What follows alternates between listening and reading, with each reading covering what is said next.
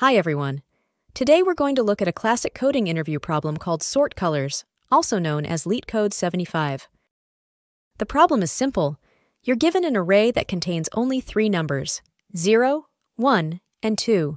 They represent red, white, and blue. Your task is to sort the array in place so that all the zeros come first, then all the ones, and finally all the twos.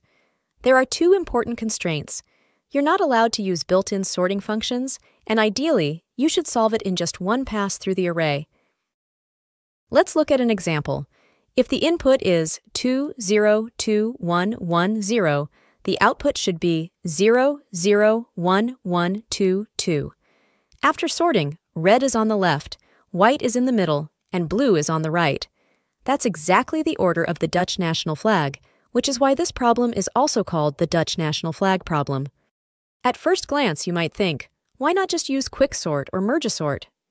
That would work, but those algorithms take O n log n time and don't take advantage of the fact that there are only three possible values. In interviews, the expected solution runs in linear time, ON.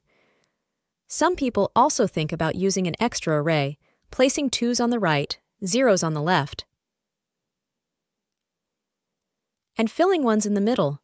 That scans the array once, but it uses extra space, so it doesn't meet the in-place requirement. Another straightforward approach is counting. You scan the array once and count how many zeros, ones, and twos there are. Then you scan again and overwrite the array with the correct number of zeros, ones, and twos. This runs in ON time and uses O1 extra space, since you only need three counters. But it still requires two passes, so it's not the optimal one-pass solution. Now let's talk about the optimal approach, the three-pointer algorithm. We use three pointers called low, current, and high.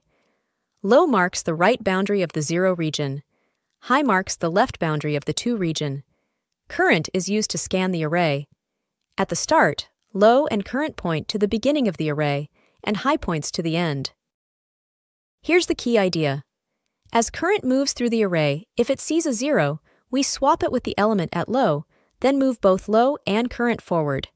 If it sees a 2, we swap it with the element at high, move high backward, but keep current where it is, because the swapped-in value hasn't been checked yet. If it sees a 1, we simply move current forward. Let's walk through the example.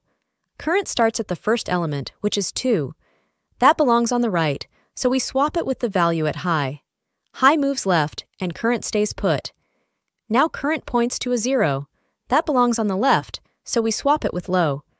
In this case, they're the same position, so nothing changes, and both pointers move right. The next value is another zero, so we do the same thing again.